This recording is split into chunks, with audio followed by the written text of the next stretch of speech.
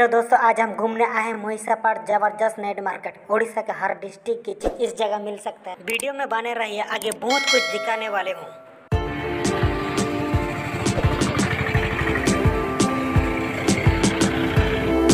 आपण मैंने पारे पैदल चली चली, चार लोग हमें सन्ध्या बेले बाहरी पड़लु।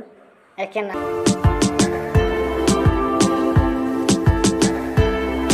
बहुत बढ़िया